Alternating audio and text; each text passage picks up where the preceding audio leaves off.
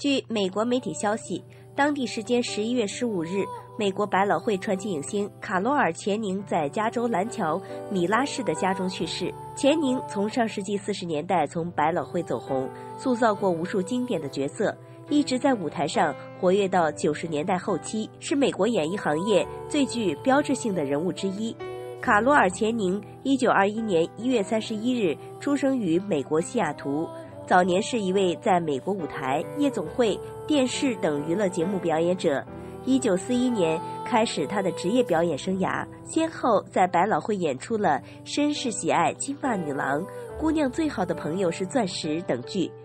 非凡娱乐实时报道。